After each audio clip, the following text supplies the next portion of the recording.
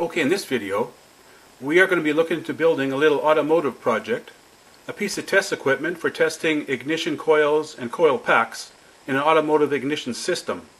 Now, if you have a no start condition or a misfire in your car, this is a good place to start. Now, normally when your car is running, the computer is sending signals to the coil or coil packs in your car to fire the spark plug. Now, every time the spark plug fires, there'll be a magnetic field generated around the ignition coil or coil pack. So this little device here will pick up that magnetic field by this little pickup coil and flash this LED every time a spark plug fires. So this is a portable device, runs on 9 volts, this is my 9 volt battery pack, and I thought I'd show you this before I put it into my enclosure. So all you have to do is put this pickup coil close to the coil pack or the ignition coil in, in your distributor in your car, and every time the coil fires, this, this LED will, will light up and then you know your computer is working, it's sending out the proper signal, and the coil is actually being energized by the computer. Okay, if you owned a car in the 70s or 80s, you would have probably have a setup similar to this, where you have a single coil, and it's feeding the high voltage pulses into the center of this distributor cap, and then a rotor inside the cap will distribute that pulse to each of the spark plugs.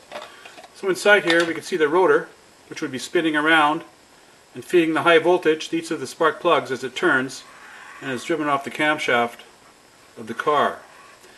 Now in the newer cars, they have the coil built into the distributor cap itself, and some of the cars actually have a coil for each spark plug. So if you have an 8-cylinder car, there's a coil for each spark plug. Each has its own coil. It's called a coil packs.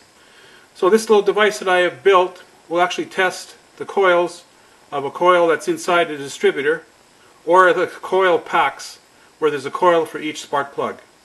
Okay, I can demonstrate the operation of my circuit. Now I have a little 12 volt relay and I have the relay coil exposed.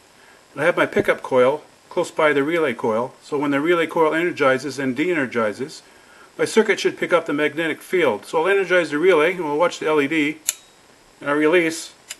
You can see the LED comes on, indicating it's detecting the magnetic field. Same as a ignition coil when the spark plug fires. Okay, we are looking at a Honda 2.3 liter four cylinder engine. And this is our distributor and inside the distributor is actually the ignition coil. And you can see the four wires, four ignition wires going to the four spark plugs. So if there's a no start condition, we could actually test for a magnetic field in this area here. And if we get a magnetic field indication, we know that the computer is working. It's sending the signal to the coil and it's energizing the coil. So we're going to start up the car and we'll take a measurement at this point here on the distributor to pick up the ignition coil magnetic field.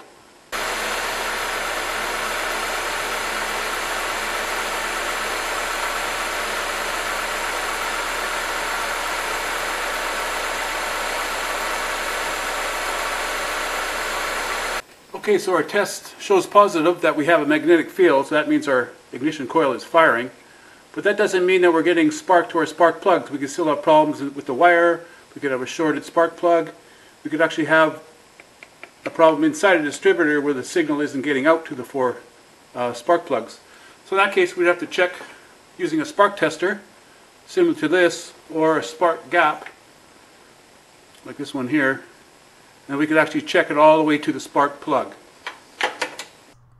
Okay, so this is an Audi 3.2 liter six cylinder and I'm checking the coil pack. I'm on bank 2 and I'm checking the coil pack and you can see it's very sensitive. I'm picking up the coil pack so I could I could check all six coil packs this way and they're interchangeable. You can just pull them out for troubleshooting. Okay, here's the schematic diagram of my coil pack tester which I built on my breadboard and the heart of the circuit is the CA3140 CMOS op amp which amplifies the output of the pickup coil.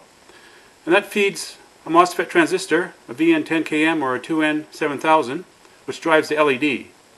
Now this capacitor here, the 0.022 microfarad capacitor, you could change that to vary the duration of the pulse whenever the spark plug fires.